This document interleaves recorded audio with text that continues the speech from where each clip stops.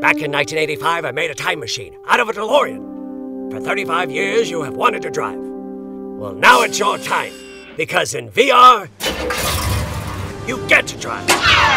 Help me escape from Peabody's son, Sherman. He's created his own time machine out of a Cybertruck and is trying to capture the DeLorean. So grab your VR gear and get behind the wheel. The very fate of the space time continuum rests in your hands.